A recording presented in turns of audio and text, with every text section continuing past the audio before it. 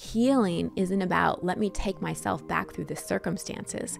It's let me go to that inner child who's still frozen in time somewhere and give that little one the opportunity to express. Christine Hassler is a master coach with 20 years of experience in psychology.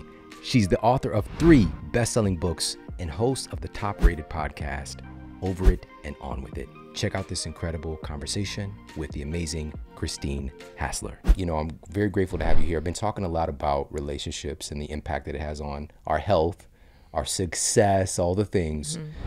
But it's something that we don't get a lot of education on, which is crazy. But being that our health is so deeply impacted by our relationships, mm-hmm. it deeply impacts our well being. I would love to start off by talking about that first, the big picture thing. Why does our relationships impact our health so much? Yeah. Well, I th- and I think we do get education. It's just miseducation. I mean, the education we get is what our parents do or what we see on TV or what we're told. So we're educated or programmed in a way that usually doesn't serve us. But if we look at relationships, so intimate relationships or friendships or even parent child relationships, human beings, we are wired for connection. Mm-hmm. We are interdependent beings. Connection and belonging are tied to survival. So if we go back to our very primitive days, if we didn't have a tribe, we die. Yeah. So, not feeling connected, not feeling like we're in healthy relationships can push up against that survival fear. And it can be super subconscious you know, not know, like, why am I experiencing so much anxiety over this breakup? Or why am I experiencing so much anxiety when my partner and I stress, uh, fight, or when my kid isn't listening, or when I feel like I'm alone? Well, it's because it's pushing up against that. Oh my gosh, do I belong? You know, am I going to survive here? So that's like the foundational thing for why we need to look at why healthy relationships are so crucial. And like you said, the problem is people just don't really know how to do it you know and and no matter and i will speak for i'll raise my hand here even with the education and even with all the personal growth work i have done for 20 plus years and my husband who's also deep in this work sometimes in relationships we look at each other and go have we ever done any work? Like have we ever had a day of therapy? We're acting absolutely ridiculous here. Why is it so hard? Because man relationships are mirrors. They are such mirrors for the things that we don't want to look at. And so they really illuminate for us the issues that have been holding us back for years and years and years. And often those issues that go back to inner child wounding have been impacting our health cumulatively mm-hmm. over time.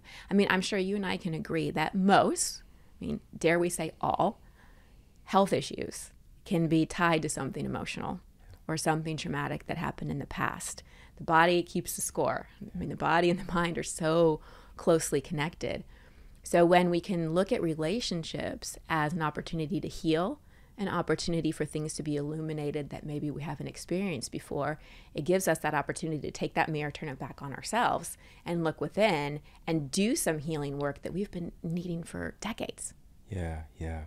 Just even you flipping the switch in my mind and for all of us, hopefully, that our relationships are so impactful on our everything in our life. We've got to really understand it, this is tied to our survival. Yep. Like we are hardwired deep, deep. Our genes, our relationships are about survival. Like we don't think about that because everything's so fancy now. Yep. You know, we've got electric cars and we can fly and all the things. We I mean, we can't fly without you know. Yeah and we seem so evolved mm-hmm. but when it what it really boils down to is that there's a deep deep primal need for each other there is and but that how to do it and i'm so glad that you brought this up it really is a miseducation you know we're getting fed this programming right mm-hmm. television programming repeatedly on this kind of romanticized version of what this stuff should look like yep. and so that's where we're getting our training i know that's where i got my training i didn't learn anything about building a healthy relationship, any kind of like academic construct. And even with that, it's still probably going to be miseducation. And so this is why this conversation is so important and why you are also so remarkable. Mm. You know, you have a a tough story in the context of relationships at a phase. Mm-hmm.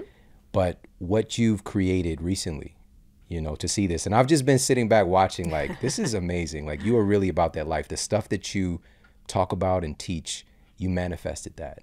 and to have this at a point when some people are just like chalking it up to like forget about it Yeah. and having your beautiful daughter as well Yeah. recently it's just like it is so special. This nobody said it's easy but Yeah. you you've actually demonstrated what's what's possible for us. And so i want to dig in here now and mm-hmm. talk about how do we go about this? Because if we're wanting to improve our relationships if we're looking for a healthy relationship in an intimate context for mm-hmm. example we're living in an age of dating apps and social media and ah. just like our attention is so scattered and what do we do? I know this is a big question, Yeah. but what do we do? What should we start with to to have those healthy relationships we're looking for? Yeah. Well, first, I'm so glad I'm done with dating apps. Oh my gosh, I did not enjoy those at all. But they have they they have a purpose, and I know many people who've met on dating apps, so they they have a purpose. So where do we start? Well, at the beginning, really. I mean, I, any relationship, whether it's somebody in relationship and they're having trouble with their partner, they're fighting, um, patterns, the polarity's gone, or someone's looking for a relationship, where I always start is childhood because it's just where it all begins. Like we said, it's where the miseducation begins. And back to what we need as humans, we need that survival and we need to feel loved and safe. And if we survey, you know, if we walked down the street and talked to 100 people and said, Did you feel completely loved and safe as a child, or even consistently loved and safe as a child? Because secure attachment isn't about perfect parenting all the time, but it's about that consistency and repaired. I bet out of those 100 people, five, and I'm being generous, would probably say, Yeah, I felt really loved and safe as a kid. I felt like I could express myself. I felt like I had good boundaries. I felt like I could be who I am. Unfortunately, a lot of us have inadequate parenting. And this isn't about throwing our parents under the bus. This is about just being honest with, as humans, we don't get a lot of education or support on being human. And so, from a very, very young age, we start to believe things about ourselves that aren't true. We start to believe something like, well, in order to be loved, I need to be good. You know, in order to get my dad's attention, I need to be really good at school or really good at sports. You know, in order to make sure my mom is happy and doesn't have a meltdown, I need to be entertaining or I need to take care of her. Or in order to be safe in the world, I need to just be quiet because my house is very chaotic and I don't want to ruffle any feathers and I'm just waiting for the next egg to drop or shoe to drop. I combined walking on egg- eggshells and shoe to drop in that one. And I'm bracing myself, right? So Yeah. be- because of what happens or doesn't happen to us in childhood, we come up with these formulas about what we think we need to do to be loved and safe. And the truth is, we shouldn't have to do anything other than be ourselves to be loved and safe. You know, every human, especially every child, deserves that. Again, unfortunately, that's just not the way it is right now. So we have these unmet childhood needs. And I could go on and on about the list of unmet childhood needs that we just carry around. And, and time doesn't heal all wounds. I hate that expression. It just doesn't. So we grow up and all of a sudden we're 35 and we've really never dealt with the fact that we really, really wanted our father's attention. And he was maybe physically there sometimes, but just emotionally wasn't available. So then we find ourselves dating emotionally unavailable men over and over and over again because we're looking to resolve that unmet childhood need. And we look for people that look like our parents, not physically look like them, but look like them in terms of how they behave and relate to us. So the inner child goes, Oh, well, didn't get this from dad, but hey, you, you make me feel a lot like dad does. Maybe it can be different here. Because the inner child is, is so wants to be loved by his or her parents. Like it's so seeking that love, safety, and acceptance that we've never gotten. So it's it, back to where do we begin? We begin by looking at okay, what didn't I get as a kid? What needs were not met? What developmentally did not happen for me? Because if we look at Erikson's stages of development, there's some psychosocial development that we all need to go through that just doesn't happen for a lot of us. So we ask ourselves that question what needs didn't get met? And how am I looking to a partner to fulfill that for me? Because this is the number one problem I see in relationships. Is it's like you and I get into a relationship it's all the, you know, infatuation, hormones are flying, amazing phase. I got my rose colored glasses on, I'm ignoring red flags. It's awesome. And then time goes on and things start to happen. And I start to project all the things that I never got on you and expect you to give them to me. So we go into relationships with a lot of expectations, a lot of expectations, and not a lot of responsibility. And so much of these expectations are subconscious. You know, one of the things that um, couples come to me and and my husband and I we, when we do couples coaching, they come and they say the polarity in our relationship is off. We need to fix polarity. And there's this huge thing on masculine and feminine dynamics and she's too much in her masculine and and he's too much in his feminine. That was a big thing that was said to me in my in my single years. Is Christine, you're too much in your masculine. That's why you don't have a man. You want an alpha man. You got to be in your feminine. And I was like, what? Do I got to wear a flower crown and dance around the moon? Like, what do you mean? I have to be like? It, it made no sense to me because I didn't feel that, you know. And what I see with couples is it's not about polarity at all. It's about inner child wounding. It's like we'll use that masculine feminine example. So the woman in the relationship, she might be in hypervigilance which could appear masculine. She might be controlling. She might be nagging. She might be criticizing. That's not her being in her masculine.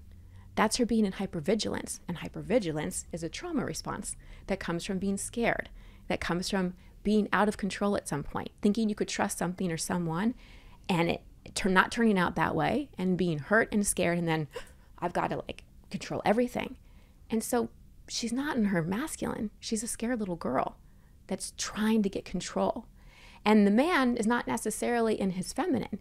He probably, as a kid, was shut down a lot, couldn't express his feelings, was told he needed to be strong, or was told he was to this or to that, or, or whatever.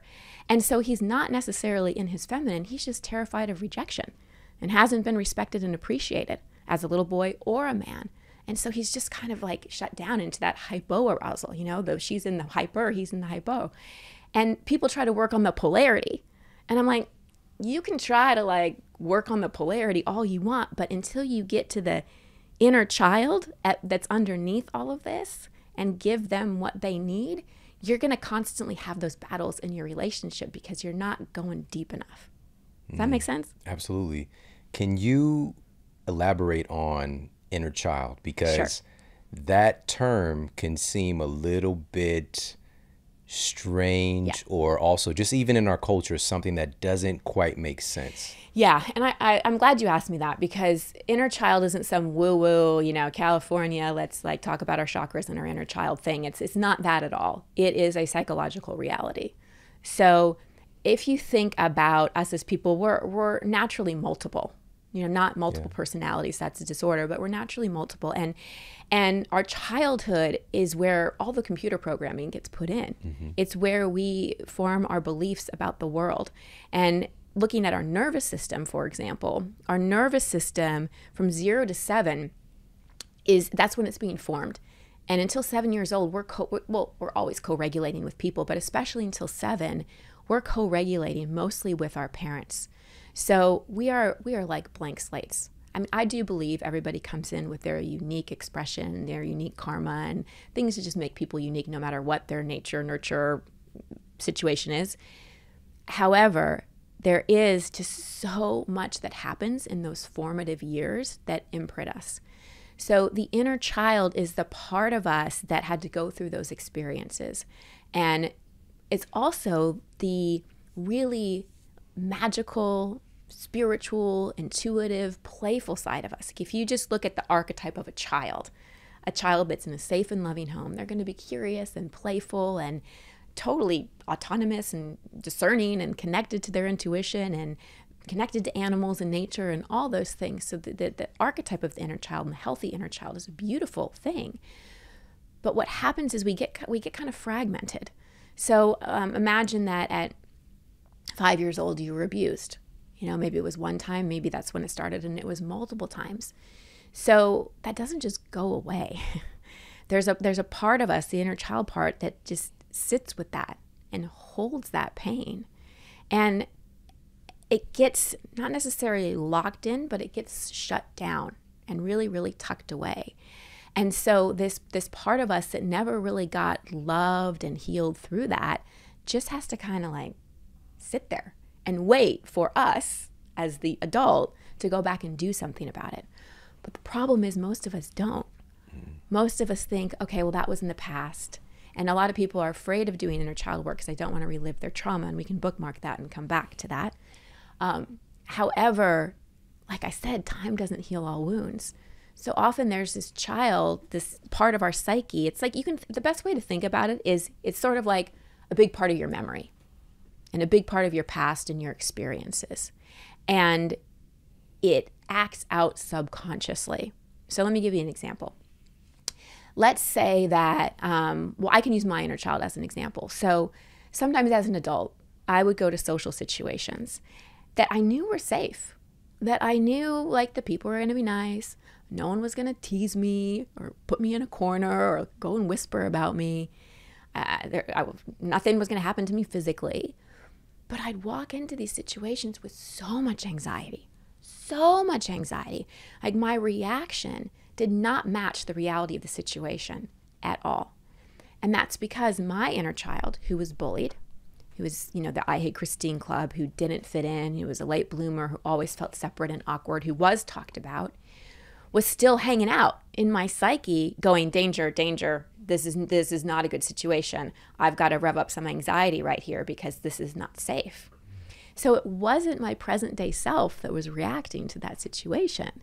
It was that inner child part of me that hadn't fully healed from that experience. And as adults we just try to push through our pain. We try to push through our anxiety instead of actually going inside and going huh like what is this message here? Why do I have anxiety about this? Or why do I sabotage relationships every time people get close to me? Or why do I procrastinate on doing the things that I want to do? Or why am I still people pleasing even though I'm building resentment inside? And so often it's because there's still an inner child who's trying to get needs met but doesn't know how to do it in a really healthy way. So fascinating. You know, I really, in, within this, this is tough. This is tough. Just thinking about my little brother and sister mm-hmm. and the different environments that zero to seven age bracket. And yeah, my little brother, he he's had this kind of residual thing with me, just like I had some advantage over mm-hmm. him. Mm-hmm. And with you sharing that in the way that you did, I did. I mm-hmm. stayed with my grandmother, kindergarten, first grade, second grade. Yeah. So up until I was about seven you know, for three years. And I had safety, I had certainty, I had the feeling of significance, I mattered. And also, again, like that, the resonance with those nervous systems in that household, you know, it was a lot of love, a lot of, you know, my grandmother, my grandfather, they were an, an, an entity. Mm-hmm. You know, I'm not saying that, of course, they didn't have any conflicts, but they they presented as a unit mm. of of for me like it represented like the epitome of love. Mm-hmm. There was like love isn't all sweet and nice. Also, there's discipline. There's like yeah. standards. You like all of these qualities were there, and I was just picking it up in that environment because the other environment is one that was very volatile. There's a lot of violence in the household. There's constant yelling. There's physical altercations. There's drug use. There's a lot of alcohol abuse. There's yeah. this is our daily life, and so and not to mention outside the door in a lot of these environments where yeah. there's, you know, there's gun gun violence and there's you know crack house and all these different things. And so, being in these environments for me, I'm just I'm taking that with me, and I don't even realize it that I have some of that imprint. Yeah. Right. Absolutely. But at the same time, for me, I've always felt like with my little brother and sister, okay, this is what this is the conditions we're in, mm-hmm. but we're gonna do better than this. Mm-hmm. I thought it was a collective understanding. I never said the words. I just felt like they're seeing these asshats acting crazy and we're not going to do this. Yeah. But they follow those patterns. And so, like, this really cracked me open a little bit more today and just thinking about how important it is with those inputs, especially again, we're in a di- literally our brains and our nervous system are very different. Like, yeah. we're kind of, you know, some of the research indicates like we're more in like more theta brain frequency, which is like we're very impressionable. This is why we're the Easter Bunny, you know, Santa Claus, really a guy's coming down the chimney and like all of the like all this, but it's very real. Yeah. And then we start to quote have reality set in later, but that is a part of us. And so even and this is the part I want to swing it back to you. Even as I'm sitting here and thinking about these things, they exist. They exist for me in my mind, in mm-hmm. my spirit. So the term that we've put on this is an inner child. Mm-hmm. That is a very real phenomenon, and nobody else understands your inner child like you do because you're the only one that truly experiences those experiences. Yeah. And so, with that being said, you mentioned that self inquiry, right? Being able to ask some questions. But you also mentioned people not wanting to do this work because they don't want to relive certain things. Yeah. Let's talk about that. Yeah. Yeah, I will. There's a couple things you said I want to unpack a little bit. So, with your siblings and that example. So, growing up in chaos like that, children, oh my gosh, children have to endure things that they just can't, you know? And so they have to go into this this survival part of their brain and it really shuts down people. You know, it really just kills spirits in so many ways. And so, for example, growing up in a chaotic house is going to create an insecure attachment style. If we tie this back to relationships, is going to create an insecure attachment style, specifically, most commonly, a disorganized inter- attachment style. So, if we look at attachment style, there's secure and insecure, and within insecure, there's anxious, avoidant, and disorganized. And that chaotic, it creates this disorganized attachment style where you kind of have this come here, go away thing with people. It's like you want people, but you don't. You want closeness, but you don't. You can't get a grip on life. Feelings are just really big, so you need to numb. You know, you need to do something because you had no regulation as a child. So, Or do something really big for attention. yeah, ex- ex- exactly. So, uh, you know, I I have so much compassion for the human experience, and you know, I've coached thousands of people at this point, and and so many adults come and they get so frustrated because they can analyze themselves and they know they should be doing better, and they know they should have more confidence, or they know they shouldn't procrastinate, or they know they shouldn't, shouldn't sabotage, or shouldn't drink, or shouldn't cheat, or whatever but I'm like, but there's a part of your brain that just can't. like, there's a part developmentally that you didn't learn. It, it's like when we learn grammar, we learn it in a certain way so that we can communicate in a way that people can understand. And there's so many things that happens in people's childhood where they miss big things like how to conjugate a verb. And you know, and then they just have trouble communicating or relating in this metaphor to other people. And so our childhood can't be used as a scapegoat and our parents can't be the blame for all the, the or the reason we have don't have what we want in our life you know it's not about blaming parents it's about having compassion for parents too and we'll get to spiritual bypassing and forgiveness of parents. Um, but it, it's having just so much compassion for our human experience especially our childhood. And like you said no one knows our inner child like we do. And so many people just have no idea how to connect to their inner child at all. So I'll, I'll wrap how to connect to your inner child in answering your question about okay, how do we deal with our inner child if we don't want to relive trauma? So I don't believe in reliving trauma at all. I don't think it's useful. I do believe there's huge value in somatic experiencing, in allowing ourselves to release things from our body that we've been holding on for a long time. And you don't necessarily have to remember it. I was working with a client who had repressed memories of sexual abuse come forward 20 years later because she finally felt safe enough to have those memories come forward. And we were in session. She's like, Oh gosh, do I have to remember details? And I said, Ask your higher self. Go inside, ask your higher self, because we all have a higher self. Do you need to remember details to heal? She went inside and she asked. She got a very clear no. She said, How am I going to heal without remembering the details? And I said, Well, you know what happened. That's enough. And you, knowing that it happened and giving yourself permission to remember that it happened is going to give you access to express the feelings you never got to express.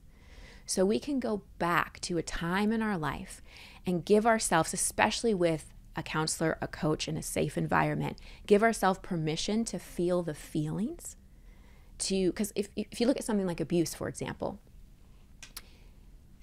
when kids are abused, they may cry a little bit, but mostly they have to freeze and take it. You know, kids that are abused don't then go get to process their feelings and, and have a safe adult hold them when they cry or let them express their anger or their shame or anything. It just yeah. all just gets sucked inside. So healing isn't about let me take myself back through the circumstances. It's let me go to that inner child who's still frozen in time somewhere and give that little one the opportunity to express. So when I do inner child work with someone, first I create a really safe container. Never do it in the first session. Like I, I need rapport. I need them and all parts of them to know that they're safe, that they have a non-judgmental person with them. And it can take a while for the inner child to even feel safe enough to come forward. I know for me, when when my first coach Mona took me into inner child work, I just I was like, where is she?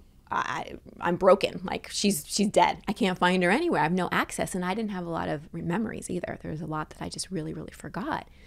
But over time, and we can talk about some techniques. Over time, I started to see her in visualizations. And the first really profound visualization I had, she was standing behind a tree with her arms crossed, and I kept wanting to see her. And I kept trying to walk around the tree, and she kept turning around the tree, so I couldn't really see her. And so in this visualization, I just sat down and I said, I'll wait. I'll stop chasing you. I'll wait till you can come to me. And then eventually, in this visualization, she did. And that was the beginning of my rapport and relationship with her. So often the first step is just like creating that connection, like going back and realizing, oh, there is still a little me in there. Like it, it, it does exist. And we have to be very patient and gentle with allowing that part of us to, to feel safe enough to come forward. And that, like I said, can really take some time. But when it does, then that's when we can go back again with a trained person or even on our own. My husband and I teach an online workshop for people on how to really go back and heal your inner child because it's such an such a critical part of healing and relationships as we're talking about. Um, but when you're doing it, it's it get you allow yourself to go back in time, but not go to the the abuse or the hard thing, but to the age where you feel like you didn't get to express something and be that loving person and say, I'm here. What are you feeling? What do you want to say? What are you believing? What are you making this mean? And when we can give the child the the healing that they never got to experience, the emotional expression, then it's like these, these things don't have to become so lodged inside of us.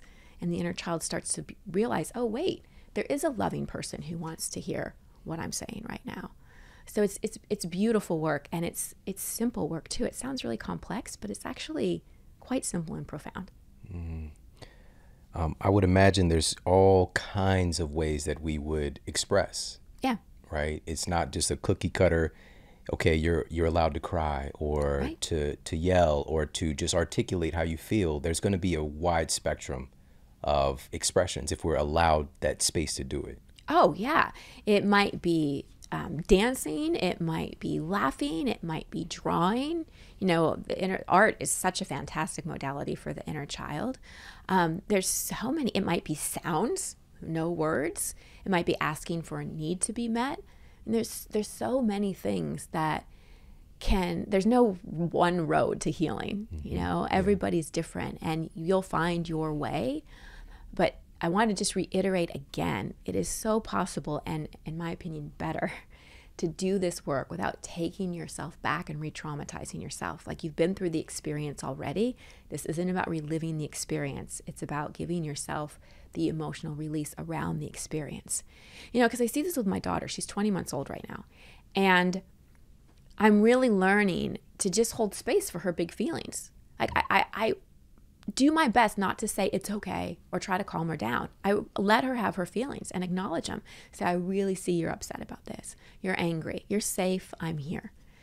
And then it's done. Then it's just done. And she's fine. And that's that's what the inner child needs a safe space to just express in whatever way they want to express and be received with unconditional love. Mm. And the problem I see so many people get into when doing work with younger parts of themselves is they go back with reassurance. So they go back and say, you know, it's okay, Shawn. Like your parents, they were doing the best they could. You know, they really were. Your mom was really stressed out. You know, your, your dad had his own abusive mother. Like they were doing the best they could. And it's okay because you're going to meet a wonderful woman. You're going to have kids of your own. You're going to have this successful podcast. Like it's all going to turn out okay. That means nothing to the inner child because for them, they're still in that moment and it feels dismissive. So we have to make sure we don't go into reassurance and this kind of like, it's all going to work out type of thing. It's really honoring where they are and what they need in that moment. Yeah, yeah. You mentioned some other important tools as well, and you mentioned forgiveness, and that was really that that changed everything for me. Mm-hmm. You know, um, of course, being able to perspective take as well, whether it's within and looking at my different stages or looking through from other people's perspective to the best of my ability. But I used to have this reoccurring dream when I lived with my grandmother, and even after I moved back with my mom, and I've never shared this before, but it would be this. This was my my brother's basically like five years younger than me, and it was my mom, and she was holding him, and I would be trying to get to her, and every time I would get close, she'd go through another door, mm. and I'm just, and it kept happening. I could never get to her, and she got further and further away. Wow. And I just I longed for my mom, even though I was now in this kind of safe environment. and There was so much beauty in this place. I still longed for her.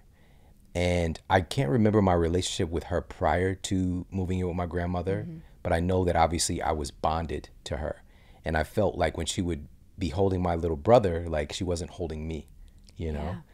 Yeah. And, but my mom, because of the environment that we were in, because it was a reframe for me as well. So it's the part of acceptance, it's the part of you know, being able to express myself and how I felt at the time, but also understanding why she did some of the things that she did as well and where they were coming from, mm-hmm. right? And so we were in a volatile environment. We were in a place where I could die. I could mm-hmm. die in a certain interaction outside that door. Mm-hmm. And she wanted me to be tough. She wanted me to be resilient. She wanted me to be somebody that can handle myself in these conditions. And so she put me in certain scenarios, which is wildly inappropriate, you know, fighting other kids, that kind of stuff, to develop these capacities. And I hated her for it. Mm-hmm. And, but then getting, going through life with that, as I'm replaying that in my relationships, I'm, you know, if there's a problem, we resort to violence, mm. right? With, you know, whether it's like friends or people who are just testing me outside my door. And it kept leading me into more problems, of course, because it wasn't really resolving any of this stuff. But getting to a place where I was able to forgive her for the situation she put me in, for the the you know the abuse or whatever the case might be, the things that that I went through, and being I literally like when you said you freeze, and I just thought about all those times I got hit, like mm. it was a regular occurrence, you know, and again, she from her perspective, she she loved me you know, she wasn't trying to hurt me. She was trying to discipline me and make sure that I'm not doing these certain things so I could survive mm-hmm. in this environment. And so if I was to carry that with me, even today, it I would suffer. I would be suffering still. And now I have, and this is what I want to ask you about mm-hmm. as well, because we tend to look for those things to fill those spaces. Yeah. And if we're doing this intentionally and from a place of, of healing, can it not be healthy to have some of these needs met from other relationships? Because I'm, I'm asking this because after forgiving my mom and like even that and truly forgiving her, it opened up this love for her, a different kind of love of like, thank you. Like, thank you so much for bringing me here. Thank you so much for keeping me safe in these particular environments to the best of your ability. Thank you so much for putting food on the table. Mm-hmm. Thank you so much for selling your blood mm-hmm. at times just to be able to feed us. Thank you so much. Thank you so much. Thank you so much for the abuse that you had to endure. Mm.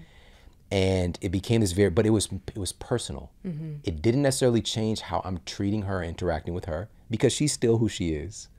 But it gave me freedom, and I have this new experience within myself where I'm not carrying all this resentment. And so now, now this is my question. As I processed a lot of these things. Then I met my wife. Funny thing, right? But with her, I met my mother in law. And those boxes that I was wanting to check, just just to have a mom, just to have mm-hmm. somebody that I could count on that's there. I could just go to her house and she's there. Mm-hmm. I got that, and I'm I'm curious if that is a healthy because I'm intentional about it. Mm-hmm. But I, I feel a need for that as well. I, I I still feel that need for a love. I still feel that need for a mom. So can you talk about that a little bit? Yeah. Well, thank you for sharing all that. I just want to go back and grab that little boy and hug him and be like, "I- got you. Yeah. So this is a beautiful example of a both and. my my current coach is always reminding me both and Christine, both and. Having the perspective to forgive your mother is a beautiful place of freedom to get to. Understanding her journey and what she went through through a child as a child and the intention behind a lot of her actions is a great place to get to inside yourself because it's spacious. And you can let go a lot of, of a lot of that resentment like you said and move into that acceptance. So that's the the spiritual i would say side of this. The emotional side would be going back to that little guy who was five six seven something like that if your brother was about five years younger and saying you know what what were you really needing you know, what did you want from mom that you didn't get? And what, what would his answer be?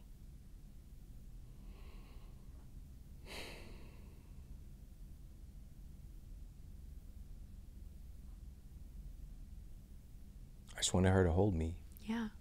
You just wanted to feel held and nurtured and safe and loved and like probably like so your nervous system could calm down. Yeah. Right? So being held, it's an instant. we go into to regulation. Right? So probably as a little kid, you had to be on high alert a lot of the time. So going into your mother-in-law's home right now probably is like being held. You know, it's probably a part of your nervous system that just goes. And I'm not surprised that you have such a passion for health because so much of what you talk about is really about regulating your nervous system Yeah. because this was such a huge need for you. So you've done it for your little boy, maybe not consciously, but by really creating environments for yourself that are safe. So you've taken care of him and you've brought experiences into your life that are giving you and him what he never had. So something you could do next time you walk into your mother-in-law's house is just check in with little Shawn. Be like, "Hey, buddy, you're, here with me. You're coming with me. We're gonna go in. We're gonna get a big hug. And we're gonna go into a warm house Yeah. with yummy food, and we're just gonna like let all that love in. So just like invite him along for that. And this is absolutely healthy. You know, we yes, so much of our work is done independently. But like we said earlier, we are relational beings. We are interdependent and expecting to do it all on our own is ridiculous. And so having experiences that fill those needs that we didn't get as children is deeply healing. But going in with an expectation mm-hmm. or projecting all our stuff on somebody, like if you subconsciously were projecting this mother wound on Anne, I don't think you'd still be married. You know, if you were looking to her to make you feel good, to make you feel safe, to, to regulate you, if you took no responsibility in your own life for learning how to regulate your system and get yourself out of chaos, it would be a problem in relationship. But you've taken responsibility for that. And you've probably done more inner child work than you than you realize. but I would just say, if I can just put on my coach hat for a second, bring more consciousness to little Shawn. Like let him be part of your now life more.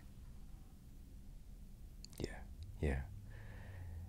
You know, the thing I love about you is like you point me to certain things that I do on accident, or seemingly on accident, mm-hmm. but as you know, you know, just doing the work, investing in myself, working to figure things out, you know, working to feel good, to find happiness, to to be more graceful in in life and how I, you know, how I how I operate, how I relate to other people, how I relate to myself. you happen upon certain things, you know, and one of those things too, you know, I because I had to also be on my P's and Q's like to make it out of the environment as well. I was very even though I was a very kind of playful kid in the classroom, just like I'm on my, you mm-hmm. know, and I feel, of course, and this is a lot of people experience this today, like countless kids where they they have the spirit of play and creativity and all the things, and you just got to sit there. Yeah. And I push, I like push myself through those scenarios, and but now there's a there's an intentional spirit of play in my mm. household in my environment that I encourage, you know, that yeah. I've encouraged through my actions and also just again wanting to provide a better blueprint. Yeah. And now I got to ask you about this.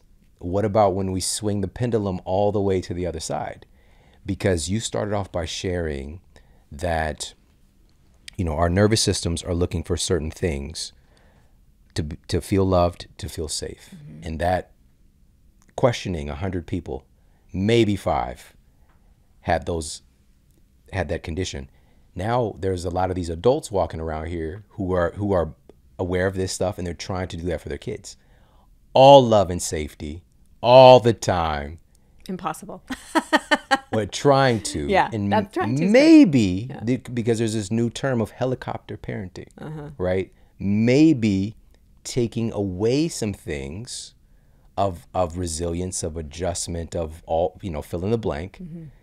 And so my question is, can where's the where's the balance here? Because that's what we really want. We want to get to a place where we are a more integrated, balanced human being. Yeah. Well, I love this question.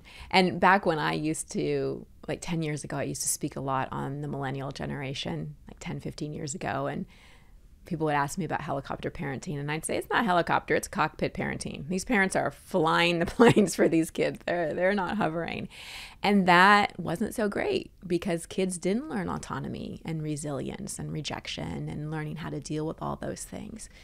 So some natural appropriate suffering is part of the healthy development of the child and the human being what I notice when the pendulum swings the other way is that a parent is so uncomfortable with their own big feelings yeah. and their own suffering that they can't handle it and can't stay regulated when their child is suffering or have big feelings.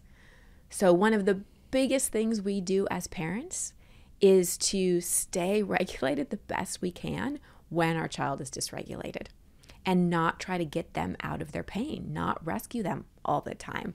Let them fall on their face and just be like, I'm here and I love you. What do you want to talk about about this?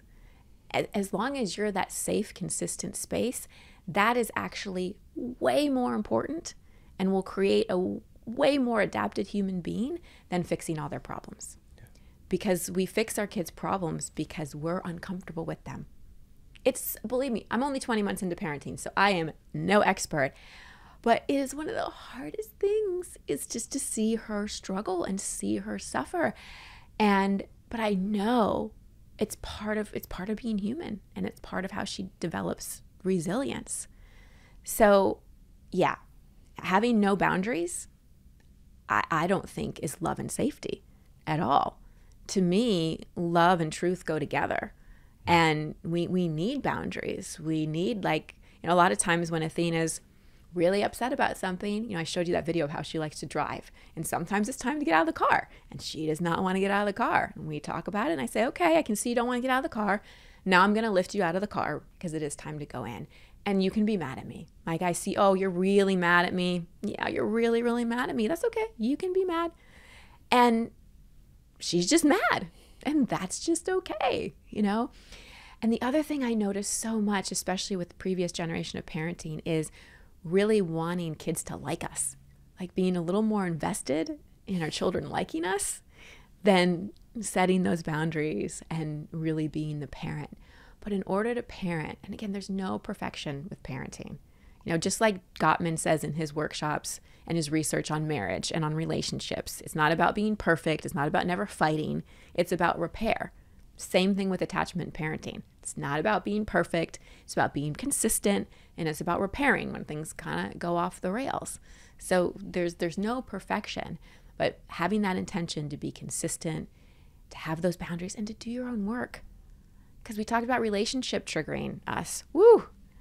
Kids are really great at showing us our unprocessed stuff as well. They're hmm. excellent at it. They're masters. Yeah, they are. Masters.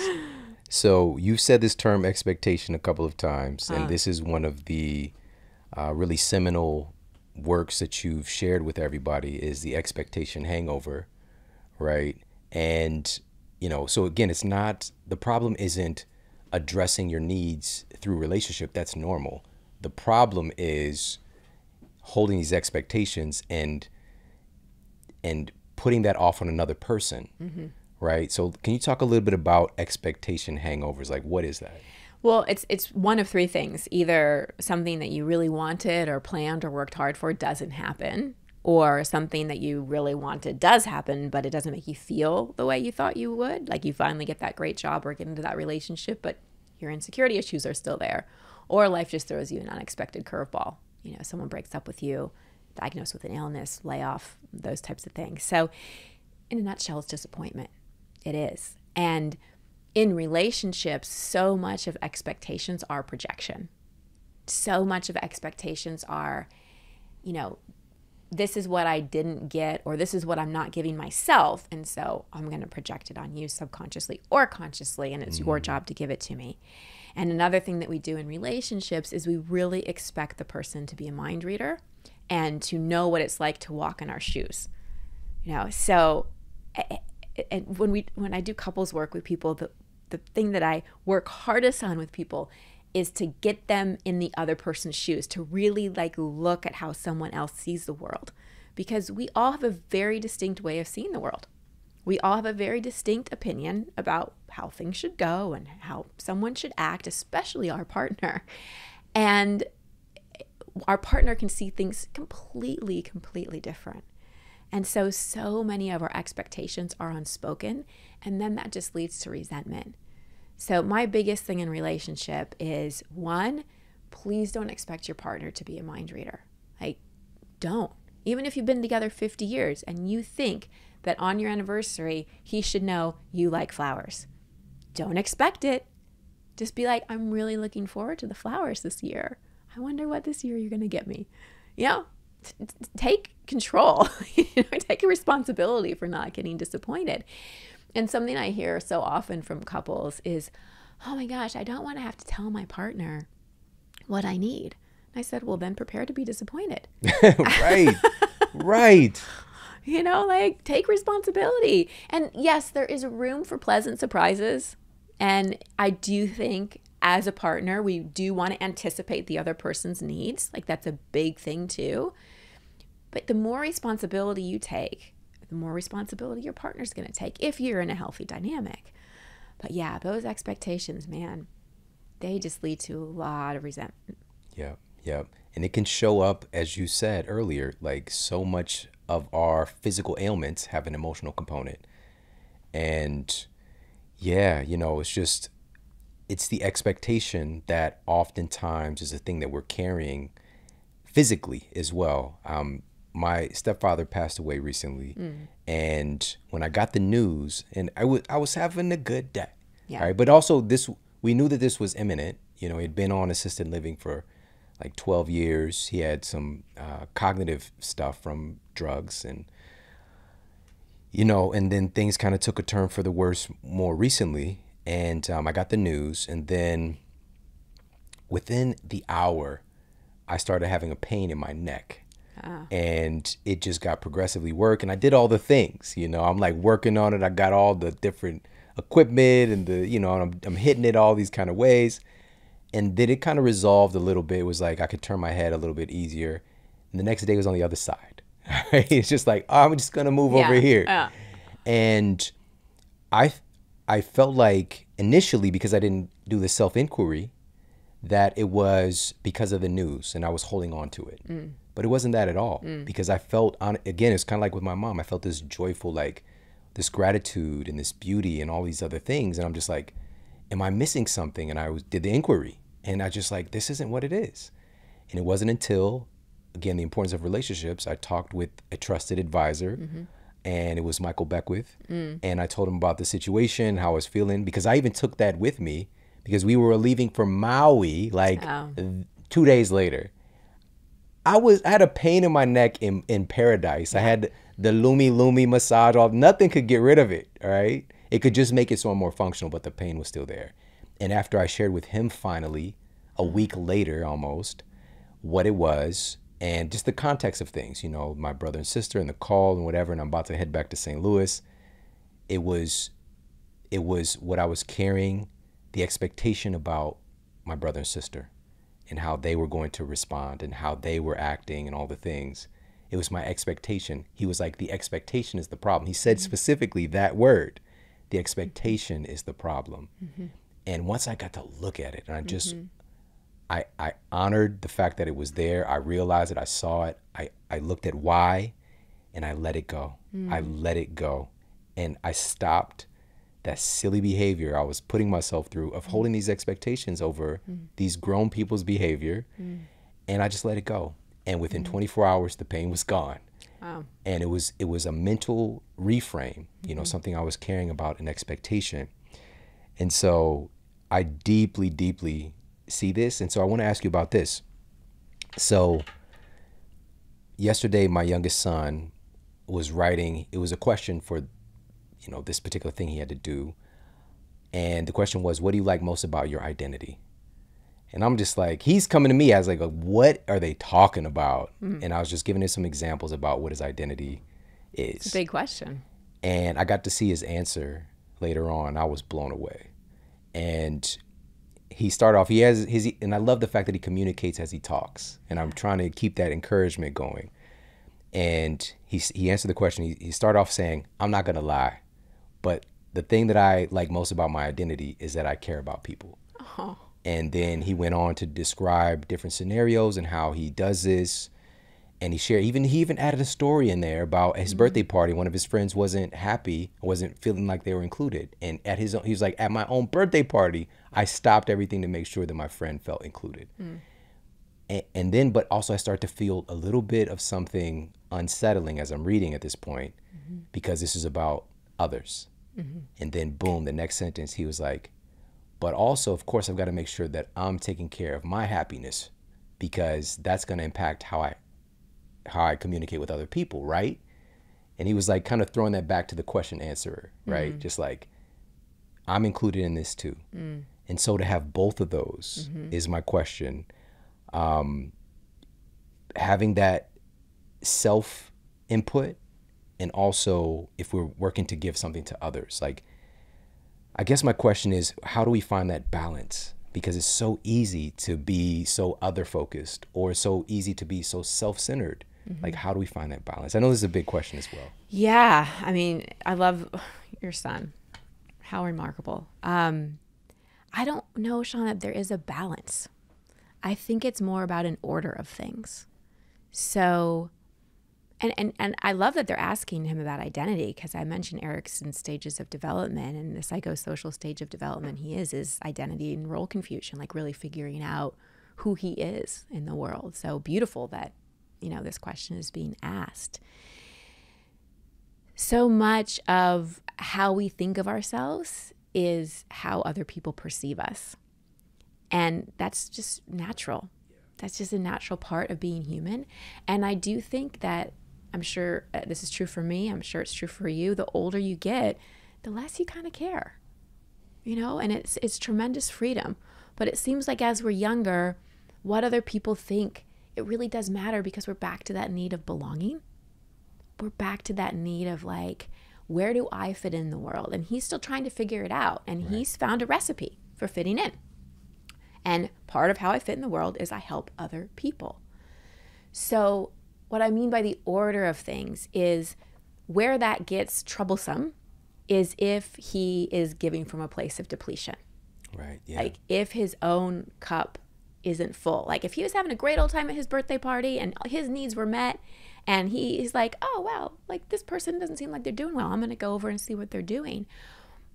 That's a different come from than, oh my gosh, someone isn't having a good time and it's my responsibility to make sure they're okay. Much different come from. So that's what I think we need to be aware of is both the order of things of like, am I full? Am I coming from a resourced place? And that's more of an adult question.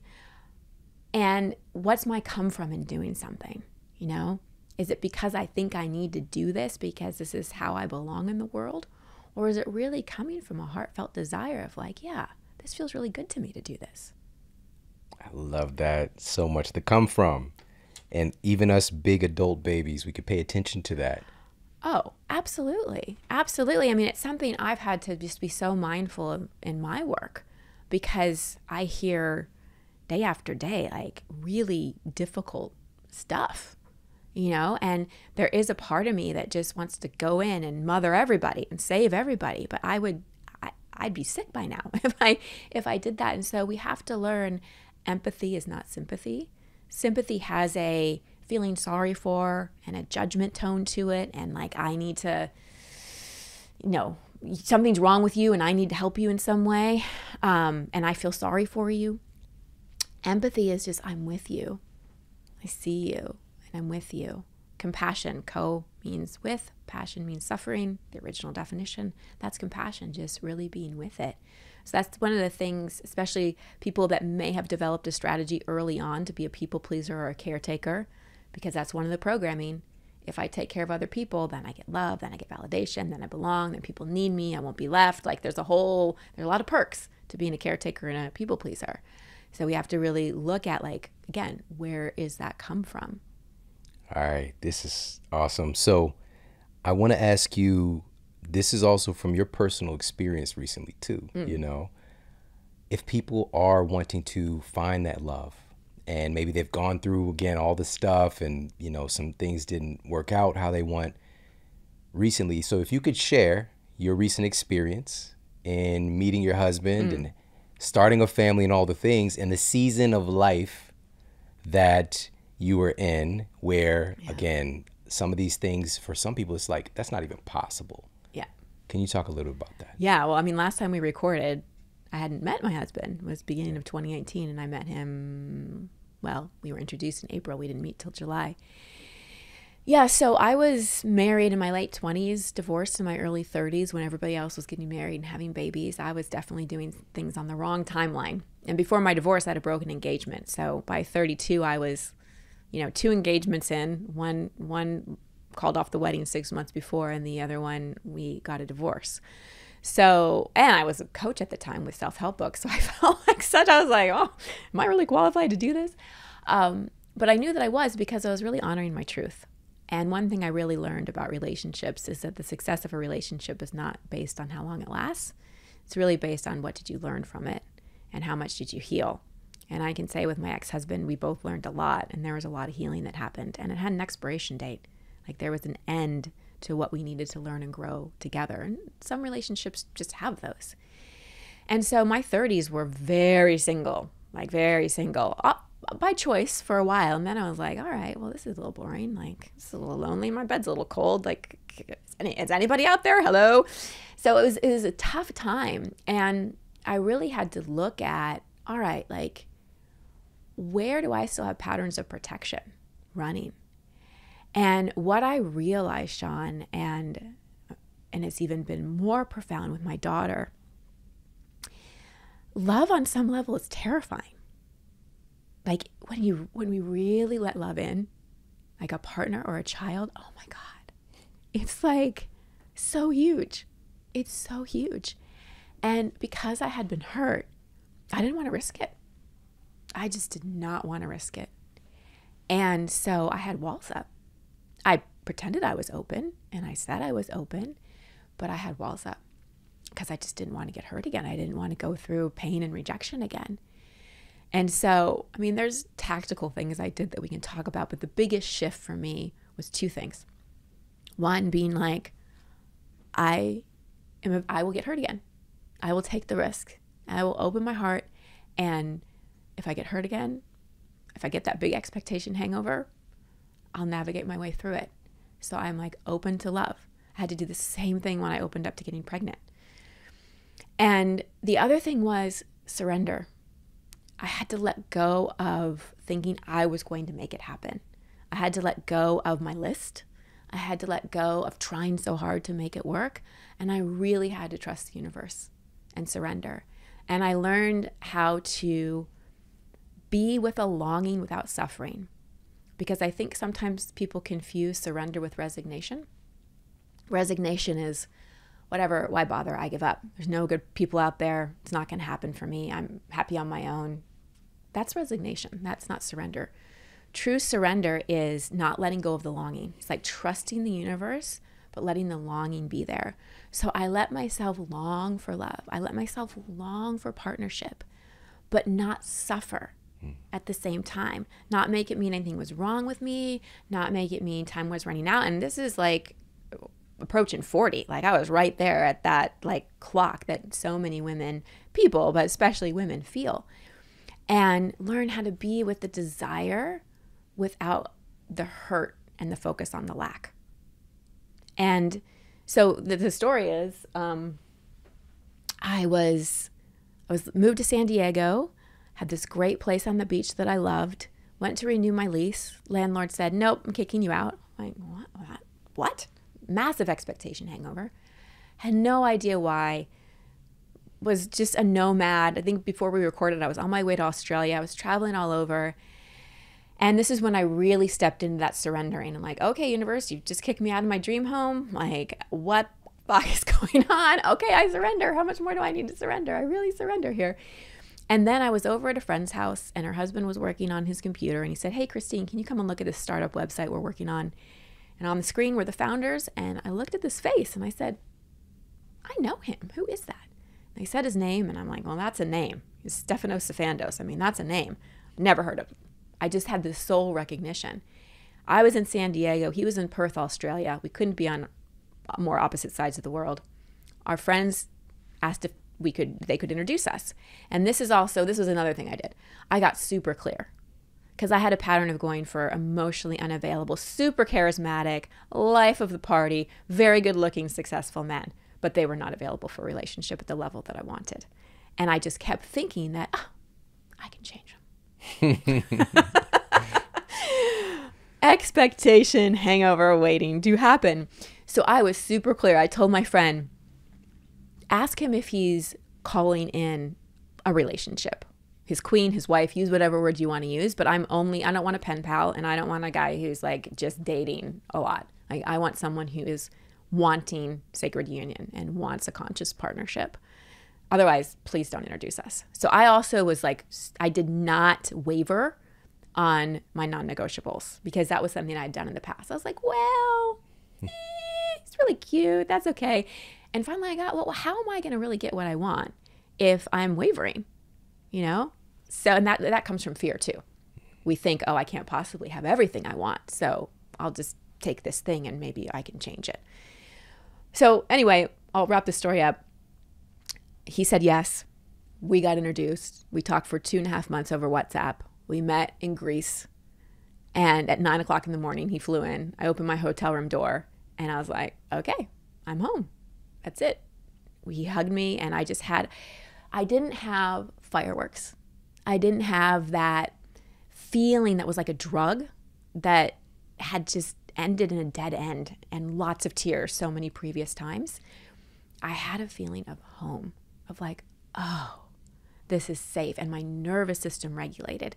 And that's a huge cue for relationships when you first meet someone. Those fireworks are fun, and there's a lot of adrenaline and dopamine that can happen.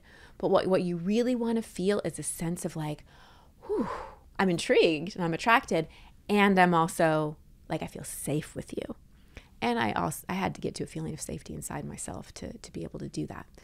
So we met, we got married 3 months later after we met in person and then we had our daughter in 20 so we met in 2018 and we had our daughter in 2022 um, and that was another thing Shawn that i was like oh gosh do I want this? Like, can I handle loving something so much? Like, can I? Because one of my things, my kryptonite, oh, I worry. I worry with the best of them. And it's something that I have just accepted about myself and I've learned ways to work with it. Um, especially people I love. Oof, I can worry till uh, I can make up amazing worst case scenarios and just my hypervigilance can really kick in. I was like, oh, can I can I deal with loving something that much? Can I really? And but then when I really felt into it, I asked myself, do I want to make a decision from fear? Because that's what I'm doing right now. I'm making a decision from fear, not from possibility, definitely not from love. So I asked myself, like, if I go in and make a decision from love, what do I want? And I wanted to be a mom. And I got pregnant in my 40s, easily, naturally, which was another thing people say wouldn't happen, you know, and ended up having a home birth because uh, the doctors I went to treated me like a sick person being pregnant in my 40s, you know, mm-hmm. and um, I'm like, no, we're not doing that. So I had her at home, no issues. And, you know, I never thought when I got divorced at, I don't know how old I was, 31, 32, that I'd wait 10 years, you know, to have the marriage and the child that I always thought I wanted. And I would have thought, no, that's not possible or that's too late. And what I've learned from my own life and doing this with so many people is there's divine timing for things. And it's really never too late for things. You know, some people may say, well, it's too late for me to have a child. Like, not going to happen. Well, form is, you know, we can look at form, right? If you want to be a parent, like if you want to be a mother or father, how else can you express that? Having a biological child isn't the only way to express that. You know, that was something I came to peace with is if I wasn't able to get pregnant and I wasn't able to have a child, all the ways that I do mother, you know, and I I grieve not being able to do that, but there are other ways to express that. And I think that's a trap we fall into in life is we we look at what we're lacking, we look at what we don't have versus really looking and creating the feeling because we're always after the feeling. We're never after the form anyway. That part. That part. You're amazing. This is so cool. Um, wow. Thank you so much, truly, for sharing your story and for traveling. This is big for you, even yeah. to come here right now, because, you know, with your connection with your daughter right now. And I don't take it lightly at all. This is really like you've given so much today, like, and even just for me. Mm. Like, I think you see both of our eyes up here just watering. Mm. And um, yeah, thank you so much for doing this work. And thank you for sharing your vulnerability as well because one of the coolest parts was when you shared, you know, the struggles in your early relationships and you being in this work and just like, is this, am I not good at this? And it's just like getting face to face with, oh, this is what this is. Because what so many of us think is that there again is this certain perfect story, this perfect scenario. Yeah. And no matter who you aspire to be or who you might model or think highly of, they go through. Yep. All right. Some of the wildest, some of the most crazy scenarios, no matter where we are, what what you know, um, what our story has been previously, there's there's always something. There's always something. And so you giving us the ability to uh, self-assess for ourselves, and also the wherewithal that listen, the divine timing piece, being able to get clear on what you want, being able to surrender, being able to keep walking in that direction, being the person doing the things, and ultimately accepting. Like a big part of your story too mm-hmm. was accepting this love, accepting all these different conditions, and being able to look at, which is so huge for so many of us, I know, that fear of getting hurt. Yeah. And like accepting it, that it's part of the package. Yeah and even I'm a fan of celebrating things like that as well. Like, mm.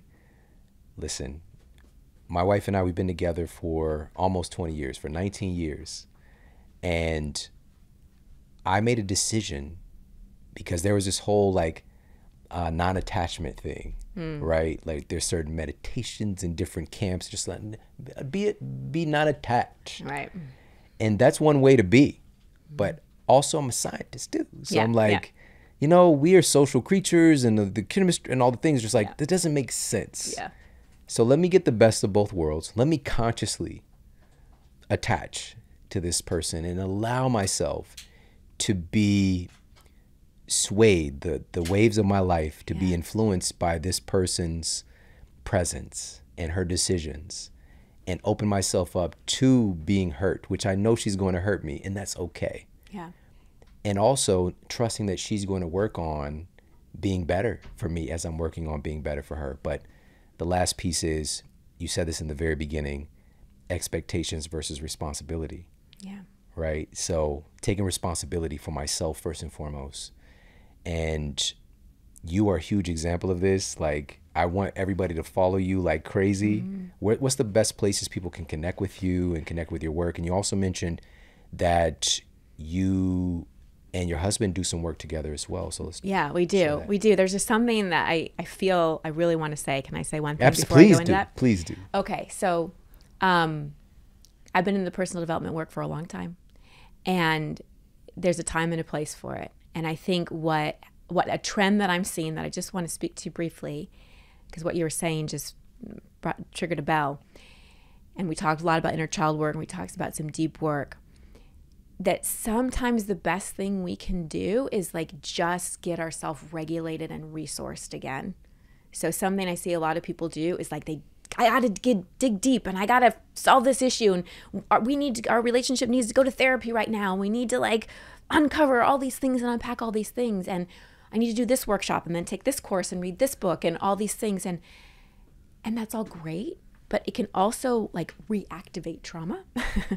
so there's an ebb and a flow to growth, personal development work, whatever we want to say, where sometimes, especially if you've just been through a lot, the best thing you can do is get resourced again, get regulated again. It often isn't the time to go do deep somatic work or go to a really cathartic workshop where a lot of stuff's going to come up. It's the time to do your breath work, not holotropic, but do breath work that really regulates your nervous system. Get your acupuncture, feel supported, body work, those types of things.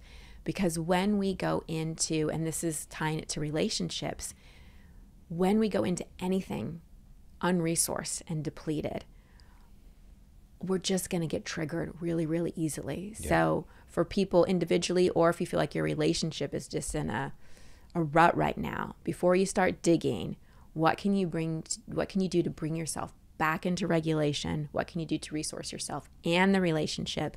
And then from there that's when you do the, the deeper work. So thank you for indulging me in that. I just wanted to to say that. Um contact me. Well there's lots of ways. I'm on instagram. I just released the audiobook to expectation hangover. The first version wasn't my voice so I recorded it in my voice and put some put some extra things in there. And then my husband and I do teach an inner child workshop that's available anytime. It's self-paced. It's just christinehassler.com slash inner child. And then my podcast, which you've been on. So it's a coaching podcast. So every Wednesday is a life coaching podcast. If you're confused about inner child work, listen to the podcast. You'll hear me do it. And then every Saturday is an episode with someone awesome like you. So lots of ways to connect. Yeah, it's such a good show. Such Oh, a good thank you. show. I love doing it. Well, thank you so much again for making the time. You know, this is like this is such a special part of my day today. Straight Oh, up, me I too. appreciate it. Well, there are very few people that I would fly for 16 hours to be with, and I just have so much respect and appreciation for you, Shawn, as a as a father, as a husband, as a leader, as somebody who's really walking the talk and integrating the work. Like this was a no brainer for me to come. Yeah, well, real recognize real. so I appreciate you so much. Yeah. Hey, if you like this video, make sure to check out this video right here. It's been information withheld from us for a very long time, and it is behind so much frustration, misunderstandings, and the orgasm gap, which is a it's a big abyss that like not even the world's like greatest daredevil could jump it.